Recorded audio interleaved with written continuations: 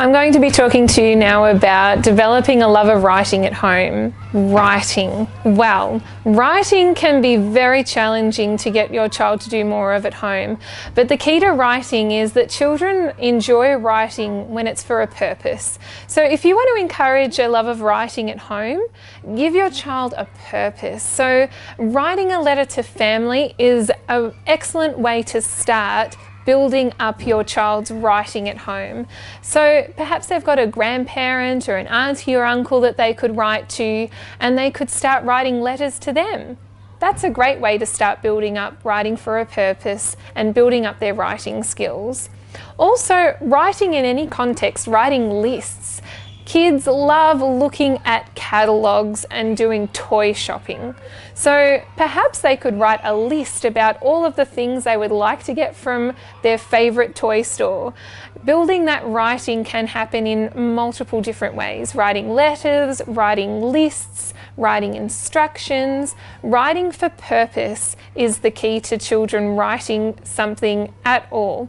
Another way to encourage the shared writing experience is to write together as a family. There's a really fun game that you can play together as a family that you could play around the dinner table and kids love this game and it's where you have a piece of paper and a pencil and you write down one sentence at a time or one word at a time.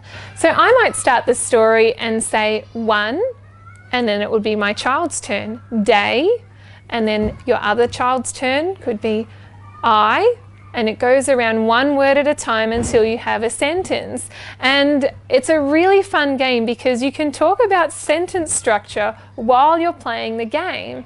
Often what happens is you come to share a word and you'll find, oh, I don't know if that makes sense in this sentence.